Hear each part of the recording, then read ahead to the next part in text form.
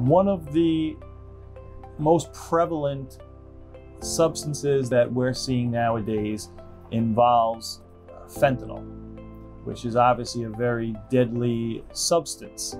And because of that, there has been a large push from members of law enforcement.